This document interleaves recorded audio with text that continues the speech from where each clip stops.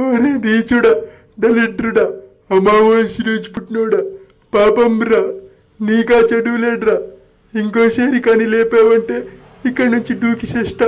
రామ్మరా ఇంతవరకు అల్లారం మోగుతుండాలేడా అని వీడు ప్రాణం తీశాడు. ఇప్పుడు నువ్వు వచ్చావా? నీకేం కావాలమ్మా?